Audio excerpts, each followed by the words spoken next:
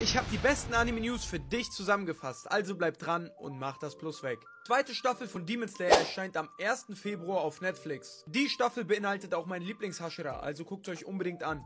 Der Entertainment District Arc auch veröffentlicht wird, steht noch in den Sternen, aber es könnte sein. Da sind wir mal gespannt. Dragon Ball Daima hat einen neuen Teaser bekommen. Und ich muss sagen, ich fand den Teaser sehr gut. Am Ende vom Teaser hat man auch gesehen, dass Dragon Ball Daima im Herbst 2024 erscheinen soll. In der Geschichte, die übrigens von Toriyama höchstpersönlich geschrieben wurde, geht es darum, dass Goku und die anderen wieder zu Kinder werden und irgendeinen Feind bekämpfen müssen. Wer der Villain ist, weiß man aber noch gar nicht. Der Anime My Hero Academia feiert sein Comeback mit der siebten Staffel am 4. Mai 2024. Am 6. April erscheinen nochmal vier Recap-Folgen, da die sechste Staffel ja schon ein Weilchen her ist. Außerdem erhält My Hero Academia am 2. August einen Film. Der Film wird unter dem Titel My Hero Academia The Movie Your Next erscheinen. Allgemein habe ich einfach Bock, dass My Hero Academia weitergeht. Noch ein Anime, der sein Comeback feiert, auf den ich sehnsüchtig warte, ist Demon Slayer. Am 27. Februar erscheint ein Compilation-Film, den man sich im Kino anschauen kann. Er wird das Ende vom Swordsmith Village Arc beinhalten und die erste Folge des Hashira Trainings Arc. Wer aber nicht ins Kino möchte, muss sich bis April gedulden. Im April soll nämlich die Anime-Serie losgehen. Aber ein genaues Release-Date haben wir leider noch nicht.